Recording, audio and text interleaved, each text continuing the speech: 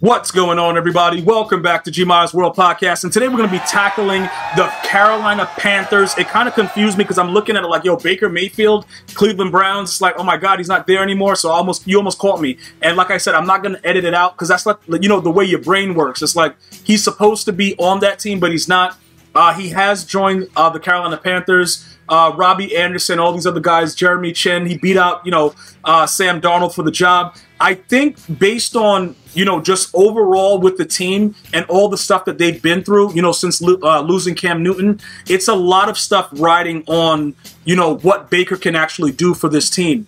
Now, what I think objectively is this: Do I think Baker is going to change the fortune for the Panthers? I do not. I do not think that they're going to be a playoff team. I think that they'll win games that people don't expect them to win. Um, will they beat the Browns week one? I, I don't look. There's a lot surrounding the Browns. Like we know what's going on with Deshaun Watson. We know he has 11 game suspension. We don't know what's going to happen as far as the backups. We don't know who's starting. It's a lot of things going on. But the one thing that I'll tell you about the Browns, they have a great offensive line and they can run the football. And that's primarily why Baker Mayfield was so successful, even when he sucked you know, the run game was solid, so you have to really pay attention to that. I don't, you know, Derrick Brown is a big dude up front for the Panthers. I don't think that they're that formidable that they can take on that offensive line, though. So I have to give the loss to you. Know, I have to give the loss to the Panthers. I have to because you. Th- this is what it is, right? The Panthers winning this game is going to create hysteria around the league.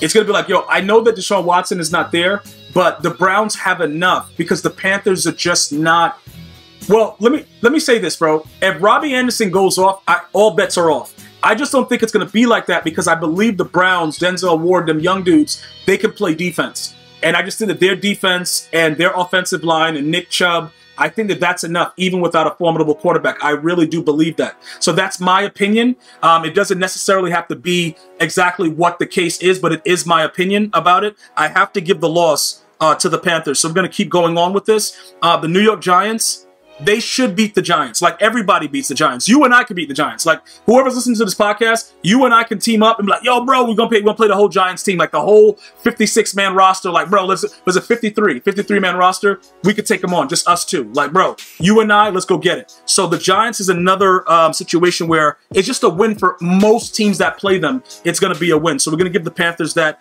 I don't think that um, you know this is at the Giants, but I don't think it matters. I think Baker Mayfield may make the best by beating a bad team and just like showing like, all right, I may not be as good as everybody thinks I am, but I'm better than the Giants. You know what I'm saying? The Saints, I gotta ride with 504 in this. You know what I'm saying? Round, whoa, or whatever kind of language they use there. Bro, it doesn't really matter. I gotta go with the Saints. It's gonna be a loss for the Panthers. All right, we're gonna go ahead. Cardinals, I gotta say this is another loss. Kyler Murray is a very interesting uh, player because you don't never know. He's like a box of chocolates, no Forrest Gump. You never know what you're going to get, but you know in the playoffs he's going to lose. But this game, I don't think that he'll have a problem winning. So I'm going to go ahead and give that uh, to the Cardinals over the Panthers. I think they have a much better team. Even with Hopkins, I think he's suspended, right? He got like that, you know, whatever, like some kind of suspension with substance abuse or something like that. I don't know. Maybe he took the wrong thing. I don't know what's going on. But I'm going to give that to the Cardinals. Moving on to the Niners, I don't think we need to argue about this. It's a loss. So right now we're looking at one and four for them because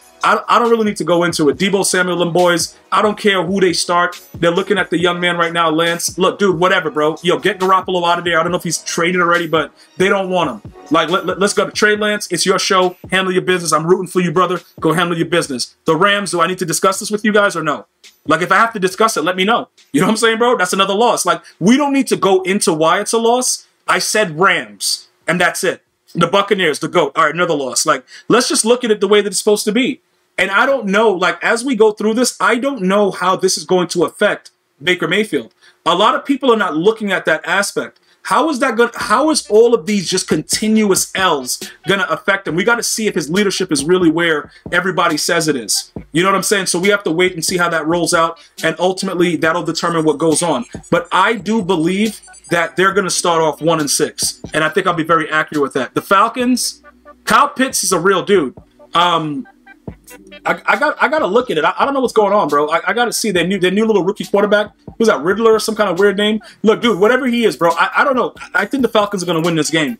I, don't know what it is. I, I got to look at it, but bro, I, think right now, leading up to it, the way I feel right now, the Falcons take this. You know, like they, they got to take it. You know, they're to be doing the dirty bird all game. I think Kyle Pitts is a real man, dude. Like, I don't know what's going on, uh, but I think they're going to win that game. The Bengals, obviously a loss for the Panthers. Like, do we need to talk about it? Probably not. They may split with the Falcons. You know what I'm saying? Depending. So I'm going to give this one as a W. Just, just to, like, relax you Panther fans. I'm going to give them a W for that. Like, let's just say they split uh, with the Falcons. The Ravens, it doesn't really matter who's starting at quarterback, even though I think by this time Lamar Jackson will have his deal done, so we'll be all good and ready to go. Um, I do believe that they are good enough to beat the Panthers without you know, Lamar Jackson. So we obviously have to go ahead and give them that L, uh, unfortunately. So we'll just go ahead and drop that right there. Um, and that's pretty much it for them. The Denver Broncos should win this game. Very, very upset personally because I don't know Tim Patrick. I believe that's that is his name that, you know, he tore his ACL. I just hate seeing these athletes that are ready to take off just not get that. Dude, it, it, really hurts. But the Broncos should win this game. So we're going to go ahead and give them a loss right there. But again, you know, you still got Russell Wilson. Uh, he has a lot of, um, you know, he has a lot of intangibles that he's bringing to that franchise. Um, I don't know, like, leadership wise, how good he is because I don't think the locker room really liked him at Seattle. Uh, and I think a lot of that is based on what Pete Carroll did in the Super Bowl when they should have handed it off to Marshawn Lynch. But we'll see how it works out. Week 13, it's a bye, so they can't lose a game. Seattle Seahawks, speaking of the Seattle Seahawks, this is going to be a battle, believe it or not. I don't know what DK Metcalf's going to be doing, and I don't know what Geno Smith's going to be doing, but I'm going to give the Panthers the win here because I don't really trust Geno Smith. I honestly don't trust him, so I don't want to say that he's going to win that. The Steelers should beat them, so that's another loss. And when you look at the Steelers team right now, yes, they're not the Steelers of old, but they're better than the Panthers. Like, you know what I'm saying? Like, it, it's just basic logic. Like, a lot of you guys are getting mad at me, like, yo, bro, you don't know what you're talking about. I actually do, though. And I'm usually pretty much on par with the records that I predict. Go back to my other videos from previous years. You'll see. Because I'm just looking at it based on what the team is. Like right now, Mike Tomlin, does he have these boys ready to play? Yeah, Juju Smith-Schuster sucks, but he's gone. He's with the Chiefs now. So, you know, what are we doing over there? It hasn't been the same since AB, and AB's gone crazy. So we don't know what he's doing. Probably putting that S on, put that S on. Uh, like, bro, I don't know what AB's doing, but the Steelers haven't been the same since he's been gone. So you know, they're not the same team, but I think they're better than the Panthers. We're going to ride with the Panthers. The Detroit Lions, as much as it pains me, I love me some Dan Campbell. I got to go ahead and give the win to the Panthers. I just, dude, I, I don't know. It's just the Lions, bro. Like, their franchise, they're just born losers, dude. Like, I don't, I don't know, man. You had two, well, two, three, three or four great play. Barry Sanders, Calvin Johnson. They had that quarterback. Like, they had really good players, and the franchise as a whole is just not good. The Buccaneers going to beat the brakes off of them again, so it don't really matter. And then the Saints is going to round it out and just go crazy. The Saints is going to go absolutely nuts. All right. And it's going to be really, really disgusting. So I would probably go ahead and say, you know what? We're going to take the Saints in this one.